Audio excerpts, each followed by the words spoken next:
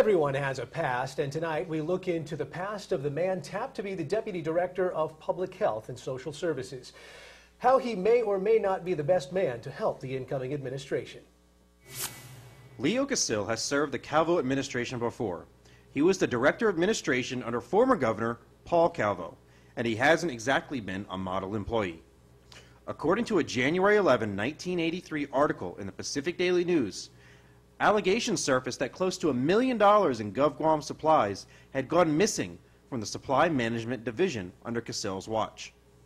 In a phone interview today, Casil told us, I didn't take the supplies, and that I never had any bad intentions when I got involved.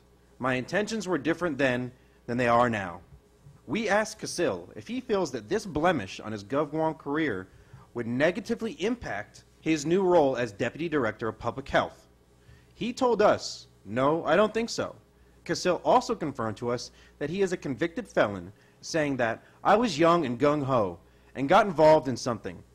I never knew at that time, and in those days, I never thought about what I was getting into. I paid my debt. That may be, but the law suggests his re entry into public service may be more difficult than anticipated. Title IV of the Guam Code Annotated says that any person nominated to a position a nomination letter shall be delivered to the office of the Speaker and shall include whether the nominee has been found guilty of a felony, the date of conviction, and the specific infraction committed. It goes on to say that if any person whose name is submitted to the legislature for confirmation is convicted of any felony while the nomination is pending, the nomination shall be considered automatically withdrawn upon such conviction.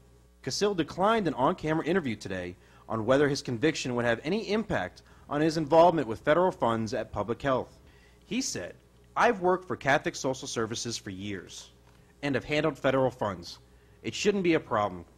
Casil also told us, I'm not perfect. I just want to help the people of Guam in my capacity as Deputy Director. For Guam News Watch, I'm Michael Rudolph. Thank you, Mike.